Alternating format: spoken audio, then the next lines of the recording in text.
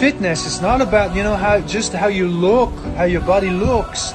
It's not about some limited views of you know what it is to be fit. Oh, I have a bit of strength, I have a bit of cardio. That's okay, that's cool, but truly to be physically capable in the real world, this is what it is about. This is what true fitness should be.